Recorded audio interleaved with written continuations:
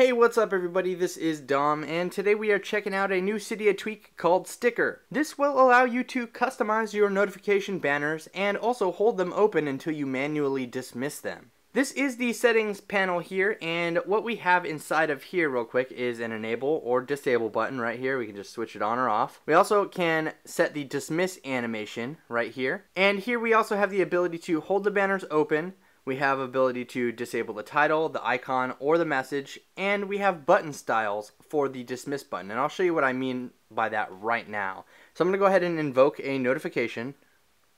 So as you can see here, we have the icon, the title, the message, and then we have this little X up here in the corner. This notification will stay here until I manually dismiss it by tapping on that little X right there. So as you can see, I tap on the X and it goes away.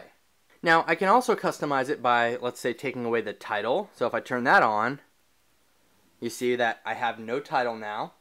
Or the icon. Let's pull up another one here.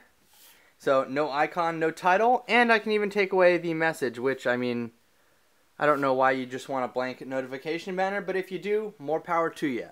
So we can also go ahead and customize the icon that we use for the dismiss button.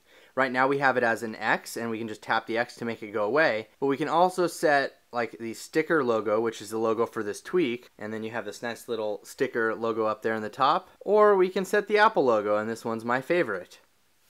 Just like that. And then when we want it to go away, we just tap on the Apple and away it goes. Now you also have the option to set a custom button and to do that you have to know a little more about the file structure within the iPhone and you have to use iFile or something similar like that and create an icon, name it specifically, and then drop it in a specific folder. So once you do that, you'll be able to respring the device and set a custom button if you'd like. But as far as the other options go, that's pretty much it. We can set the dismiss animation, we can set it to no animation, which would leave us like this, and it just go away.